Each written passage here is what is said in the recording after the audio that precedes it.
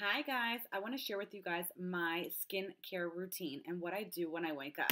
So what I use is our Illuminate skincare product, which is our Illuminate facial cleanser in clear. I really like the way this makes my skin feel super smooth. It's got amazing products in it like aloe vera and licorice root and it makes it really smells amazing as well. Then I move on and I use our Divine Moisturizer. A little tiny pea size amount goes such a long way.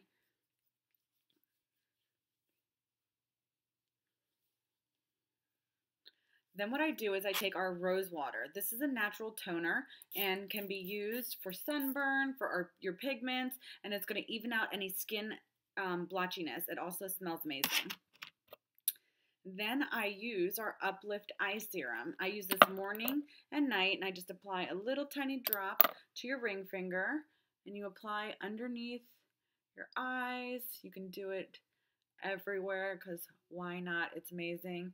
They actually brought a scientist out of retirement to come up with this amazing formula just for Younique. Then, the most important part before you start your makeup is a primer. A little pea-size amount goes such a long way. This is a face and eye primer, so it's good for your eyelids and your face. It's going to last a long, long time and keep your makeup all day long.